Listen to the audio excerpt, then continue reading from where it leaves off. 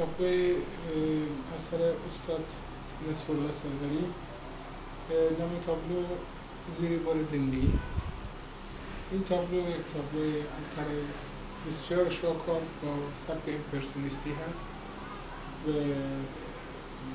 ابعاد تابلو 80 درصد 140 دارای امضا هم باشه این نقاشی خود استاد یک پیرمردی که مقدار گل رو بار وزن بار هم می‌کنه با خودش. اما در سیمای چاپ لباس بیشتر جلب نظر بیننده رو استاد به قسمت بازوی سمت راست جایی که هم می‌کنه با رو آورده به رنگای امپرسیونیستی بسیار زیبا در این تابلو با کاردک انجام شده و اصلا هم داره.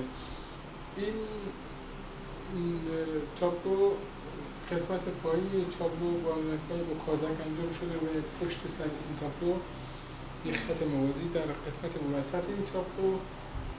روستاها و قشتاقها جاهایی که کسایی که زندگی می‌کنن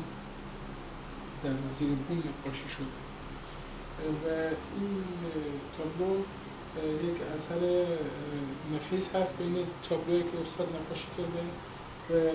قسمت سر این تابلو رو باز هم با کاردک با رنگ رنگ زنده استفاده شده و صورت این پیرمرد با حالت چهره برافروخته و چهره بسیار کسی که بار زندگی فشار زندگی رو فشار گرسان هست رو ترسیم شده.